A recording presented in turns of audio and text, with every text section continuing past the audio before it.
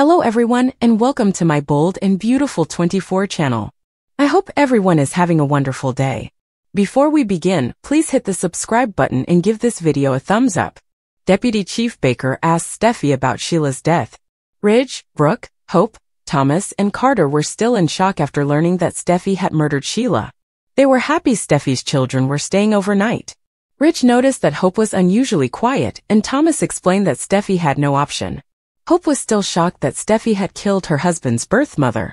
Hope empathized with Steffy's scary position.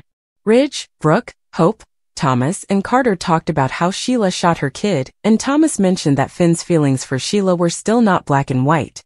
Trying to see it from Finn's point of view, Hope stated that he still had to accept that his wife had murdered his mother. Ridge didn't believe Finn's deep attachment to Sheila. He claimed that once Finn was born, Sheila was nowhere to be found. Nevertheless, Li reared him and was his biological mother. Hope was startled that Ridge did not understand Finn's point of view. Thomas reiterated to Hope that it had been self-defense. He hoped that after some time alone with Steffy, Finn would have digested things and could support her as he was meant to. Ridge was concerned that Finn would be too distraught to assist his wife, and Ridge insisted that Steffy needed her spouse while being questioned by the police. Ridge recognized the cops were on their way back over there, so he decided he needed to go there as well. Carter volunteered to accompany Ridge, but Ridge did not want to appear as if Steffy needed a lawyer just yet. Brooke inquired about Hope's well-being after Ridge had left. Hope responded that she was the only one who supported Finn, but he wasn't the only one who had mixed thoughts about Sheila. Hope added that Deacon believed he had fallen in love with Sheila and would be saddened to hear about her death. Well, at least he's free, Brooke reasoned. Hope's jaw gaped, but Brooke refused to apologize for her sentiments about Sheila's death. Carter stated that Deacon had managed to see something positive in Sheila. Maybe Thomas answered, but he added that the good news was that Deacon wouldn't have to stay away from Hope and the kids anymore. Hope left so she could be the one to deliver her father the news. Thomas offered to go, but Hope insisted that it remain between her and her father. After Hope took off, Thomas expressed gratitude to Ridge for going to support Steffy, who did not need to be speaking with the police at that time. Carter wished Ridge had let him go as well, but Brooke warned that bringing in a lawyer so quickly could give the impression that Steffy had something to hide. Thomas couldn't image what Steffy had gone through to be forced to protect herself and kill someone while making dinner. At the Cliff home, the perplexed Finn looked at his bloodied hands. He claimed Sheila's blood had always been inside him, but now it was on his hands. And yours, he informed Steffy. Steffy gulped miserably. Finn added that he was struggling to reconcile the reality that Sheila had done terrible things to Steffy and her family, including shooting them, but she remained the lady he had lost sleep over as a youngster. Back then he questioned if his smile and determination came from his birth mother. Finn became distraught, unable to express how much it meant to finally meet Sheila and understand about his biology, especially after discovering who she truly was. And now I'm never going to see her again because you killed her, he told her. Steffy, who appeared to have been stabbed, responded that she realized how difficult it was for him, but Sheila had broken into their home with the same insane expression on her face as she had in the alley. Steffy wondered what else she should have done besides defend herself. He claimed to understand all of this, but it didn't erase the reality that his mother had died in his own home at the hands of his wife. Finn and Steffy overheard police sirens. Finn, startled, remarked that he couldn't do this. Steffy appeared puzzled. He claimed he couldn't do this with the police. He quickly skirted out the patio door. Later, Steffy was alone with Deputy Chief Baker. He couldn't believe that after all these years it had occurred. Steffy said she killed Sheila in self-defense and Baker inquired about the incident. Steffy explained that she had been alone and heard weird thumping. She checked several times, but nothing was there. She figured it was the wind. Baker imagined how unsettling it must have been.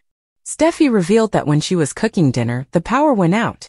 While hunting for candles, she noticed a shadow on the wall. Steffy noticed Sheila reaching inside her pocket as she approached her. Steffy assumed Sheila had drawn a gun. Baker said that Sheila did not have a gun and was unarmed. Steffy stated that she could have sworn Sheila had a pistol.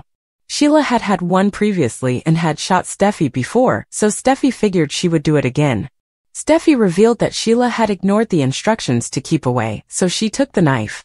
That's when Sheila lunged at her and Steffy stabbed her with the knife. Baker inquired whether Steffy was admitting to stabbing Sheila Carter. In self-defense, yes, she said. Baker noted that Steffy claimed Sheila rushed at her, but she had not seen a weapon in Sheila's hand. Steffy began to explain, but Ridge appeared and told her not to respond.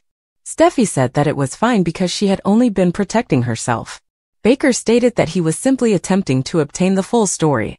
Ridge assumed it was as simple as a maniac breaking into Steffy's home and attempting to harm her, and Steffy putting her down. That is it. The case is closed, Ridge concluded. Baker, on the other hand, responded that it was not Ridge's place to say. Ridge determined they were finished. For now, Baker agreed. He assured Steffy that he would ask additional questions later, but Ridge responded not without an attorney.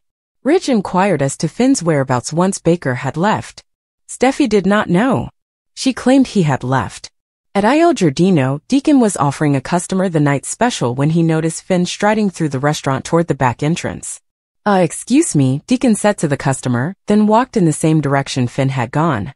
Finn came across a photograph of Sheila in Deacon's apartment. He even touched one of her black sweatshirts. Deacon entered, asking why Finn was there and if he was all right. Finn whispered, the cops are at my house. Sheila went there, Finn explained. Denying it, Deacon claimed Sheila had vowed not to go there. Finn revealed that Sheila was never coming back. Because the cops had been mentioned, Deacon inquired whether Sheila had been arrested. Deacon noticed Finn acting strangely and asked him to explain what was going on. Finn recounted that Sheila had broken into the house and threatened Steffy, who had stabbed Sheila in self-defense with a knife after Sheila rushed at her. She killed her, Finn told a distraught Deacon. Deacon questioned how this could be possible. Deacon alleged that Steffy murdered Sheila.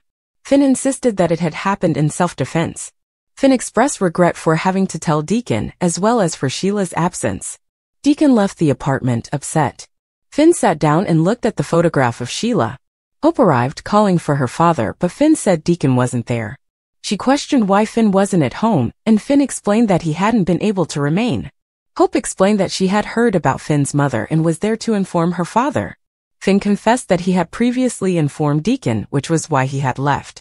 Finn explained that Deacon had been shaken up, and this was a common occurrence. Hope apologized. Finn admitted that he should not be so upset. He claimed that Sheila had shot him, his wife, and held him prisoner. Sheila had remained Sheila till the final end, bursting into his home and frightening his wife. Finn stated that he should despise Sheila. Looking up at Hope, he wondered why he didn't hate Sheila. Finn wondered whether it was love or regret over a squandered opportunity. He didn't think he loved Sheila and he wondered how he could love her. He recalled Ridge saying Sheila was an animal who had received what she deserved. Ridge wanted Finn to feel the same way he did, but she was my mother and now I'll never see her again. Finn started crying and Hope hurried over to hold him. Meanwhile in the Cliff home, Ridge held Steffy. He claimed she needed her hubby and wondered where Finn was. Thanks for watching if you like this video, so please don't forget to subscribe my channel and don't miss any update.